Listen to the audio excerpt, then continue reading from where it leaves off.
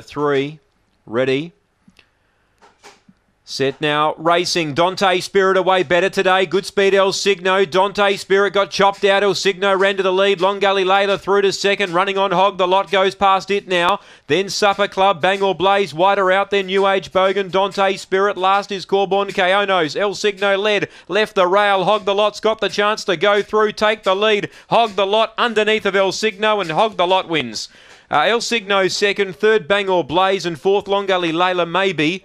Uh, from Dante Spirit, New Age Bogan was up there with Supper Club, and last in was Corborn Kaono, 23.03 the time. Hog the Lot, number 10 for Timarachi. She's got through underneath of El Signo. And six Bangor Blaze runs third, one fourth, and that is Long Gully Layla. 10 3 6 and 1 here. 10 3 6 and 1.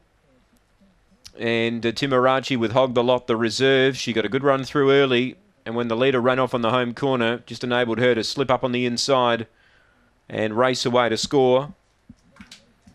So good win, 10-3, 6 and 1, 10-3, 6 and 1, two lengths the winning margin by two and three quarters, two by two and three quarters.